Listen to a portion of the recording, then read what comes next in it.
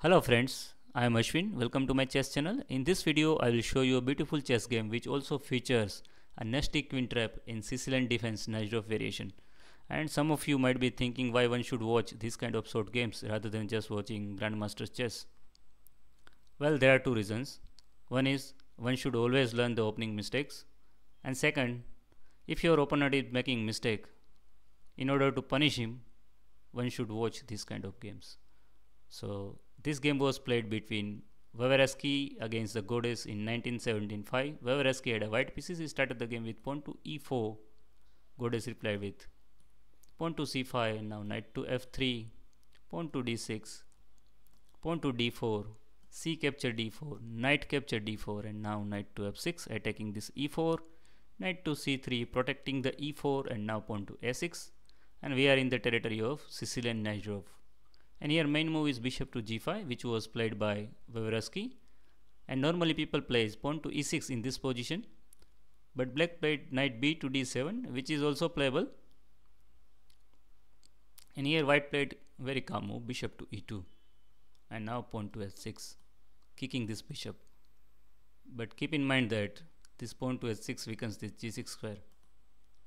Bishop to h4 and now very usual stuff pawn to b5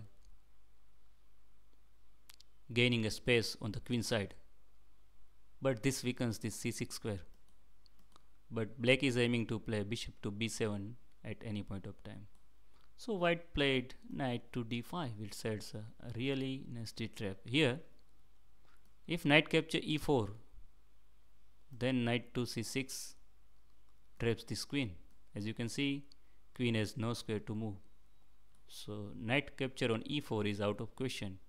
So in this position black played bishop to b7 stopping this knight to c6 but let's have a look what happened in case of knight capture on d5 and which is the best move for black in this position. But after pawn capture on d5 this pawn on d5 gives some nice chances to this white's knight to land on c6 square at the right moment and give white some space on the queen side.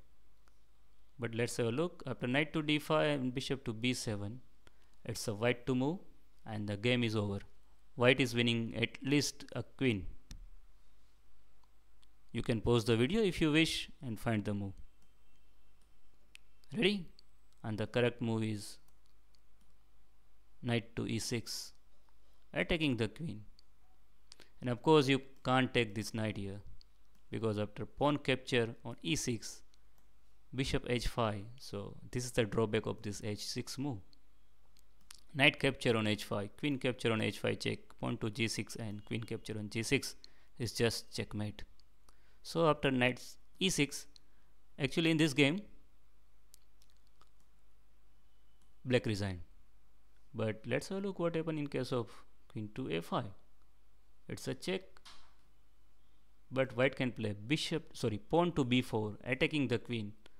And the thing is that you can save the queen on a4 no doubt about it or even on a3 but point is that knight to c7 is checkmate.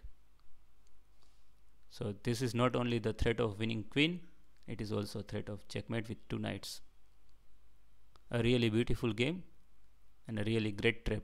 What do you think so i hope friends that you have liked my video. And if you have liked my video please subscribe this channel. Do comment here. And press the like button for the same. Thanks for watching. Bye bye